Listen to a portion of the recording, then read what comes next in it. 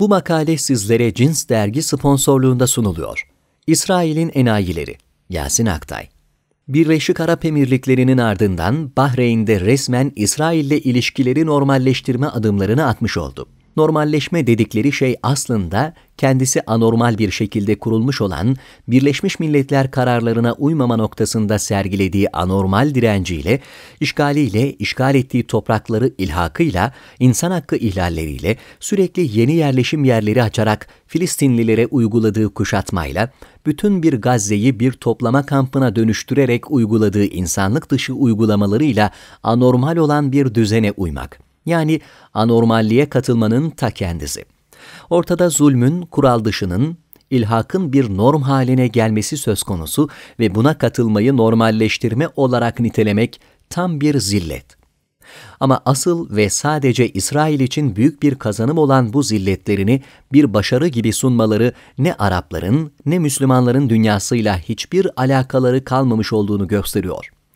Birleşik Arap Emirlikleri günümüzdeki medya bu zilleti normalleştirmek, meşrulaştırmak için Türkiye ve İsrail ilişkilerini sürekli gündeme getirmekten de geri durmuyor.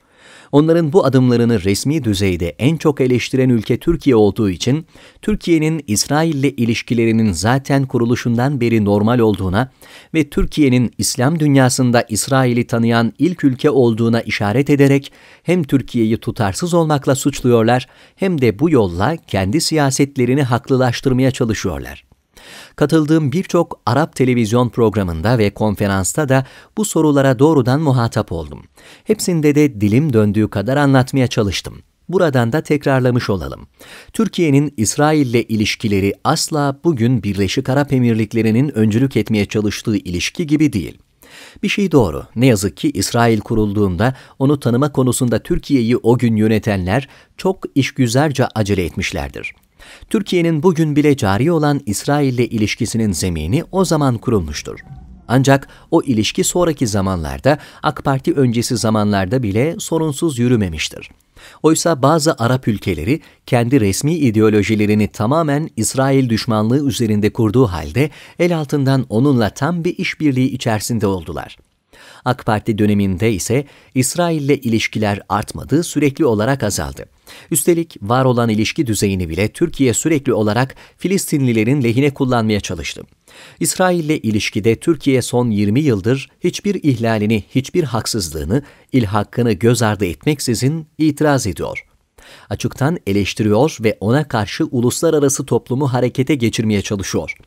Türkiye ve İsrail arasında eskiden oldukça normal olan ilişkilerin son 11 yılda ne duruma gelmiş olduğu gün gibi ortadadır aralarındaki savunma işbirliği anlaşması, hava sahasının İsrailli pilotların ve subayların eğitimi için kullandırılması, Türkiye'nin İsrail'den silah alımı vesaire konular tamamen durdurulmuş durumda.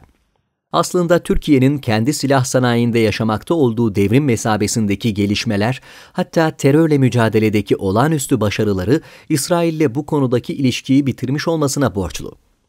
Terörle mücadelede yalvar yakar İsrail'den satın alınan insansız hava araçlarıyla yapılan keşiflerde elde edilen bilgiler, Türkiye'den önce terör örgütleriyle paylaşılıyordu ve bu sayede Türkiye yine muhtemelen bir kısmını İsrail'den satın aldığı askeri mühimmatı dağa taşa boca ediyordu. Her halükarda Türkiye'nin aleyhine olan bir ilişkiydi ve Davos'ta Cumhurbaşkanı Sayın Recep Tayyip Erdoğan'ın İsrail Cumhurbaşkanı'na hak ettiği dilden yaptığı konuşmayla ardından da Mavi Marmara çıkışıyla birlikte ilişkiler iyice geriledi ve asgariye indi. Birleşik Arap Emirlikleri ve onu takip etmeye çalışan ülkelerin bu düzeyi referans alması gerekiyor. Bugünkü seviyede bile var olan ilişkide Türkiye hiçbir şekilde İsrail'in hiçbir ihlaline, ilhakına, Kudüs'ü başkent yapma girişimine, Filistinlilerin topraklarında yerleşim yerleri açarak dünyanın her tarafından getirdiği Yahudileri haksızca yerleştirmesine göz yummuyor. Hepsine karşı gerekli mücadeleyi Filistin lehine vermeye devam ediyor. Oysa Birleşik Arap Emirlikleri'nin İsrail'le girdiği bu yeni ilişki, İsrail'in en saldırgan, en küstah ve Filistinlilere ve bütün İslam dünyasına karşı en pervasız politikalarını uyguladığı bir dönemde geliyor. Peki bu anlaşmayla İsrail'in bu politikalarından herhangi birinden geri adım atmasını sağlıyor mu? Filistinliler lehine herhangi bir kazanım elde ediyor mu? Böyle bir kazanım için herhangi bir talebi var mı? Ne gezer? İsrail'in peşine takılmış, böyle bir anlaşmayı yapmış olmayı gurur ve başarı sayan zelil bir yaklaşım.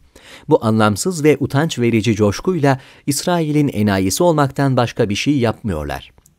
Bunun Türkiye'nin İsrail'le ilişkisiyle karşılaştırılabilir hangi yanı var? Türkiye en kötü zamanında bile İsrail'le ilişkisinde böyle bir zillete düşmedi.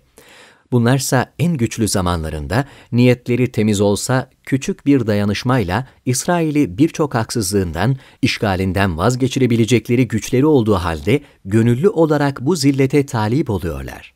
Bu makale sizlere Cins Dergi sponsorluğunda sunuldu. Yasin Aktay